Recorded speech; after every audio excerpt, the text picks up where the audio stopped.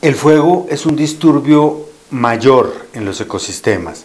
Hay ecosistemas que por su funcionamiento natural tienen el fuego incorporado en alguna magnitud e intensidad. Las sabanas, por ejemplo, las sabanas naturales de vez en cuando o en estado natural se queman, pero el ecosistema tiene capacidad de responder a ese disturbio o esa perturbación que llamamos. Hay algunos ecosistemas del mundo inclusive que el fuego hace parte de su dinámica, porque si no se queman no hay dispersión de semillas y no hay renovación del, sistema ecológico. En los trópicos húmedos, como vivimos como nosotros en Colombia, el fuego no hace parte de la dinámica de la mayoría de los ecosistemas.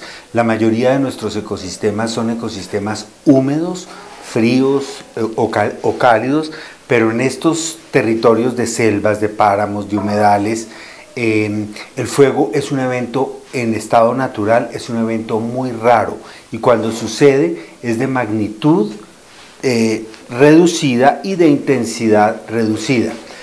Con las transformaciones hechas por el ser humano a los territorios y a los ecosistemas, y con el cambio ambiental global o cambio climático que como lo conocemos, el fuego se ha venido convirtiendo en un factor de perturbación que cada vez se manifiesta con mayor frecuencia, en ocasiones con mayor magnitud e intensidad.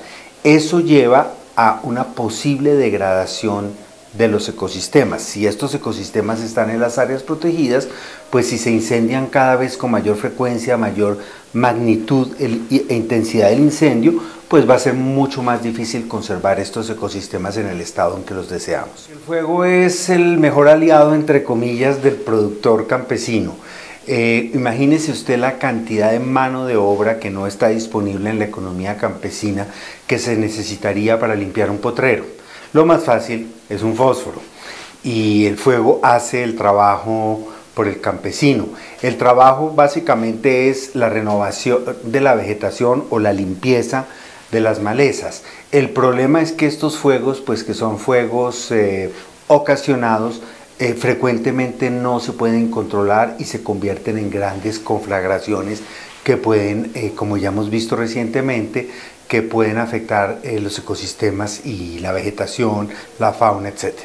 Bueno, el Estado y toda la población debe atender el fuego de dos maneras.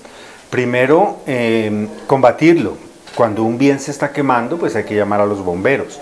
Colombia no tiene, fíjate que desde el niño pasado al niño actual, eh, no se ha visto una mejora sustancial de la capacidad del control del fuego en la vegetación. Se hacen grandes operativos, el ejército participa, hay mucha movilización, pero le da uno la impresión de que estuviera frente al mismo evento de hace 10 años creo que no hemos mejorado nuestra capacidad, sustancialmente nuestra capacidad de atender los fuegos en la naturaleza, en los bosques, etc.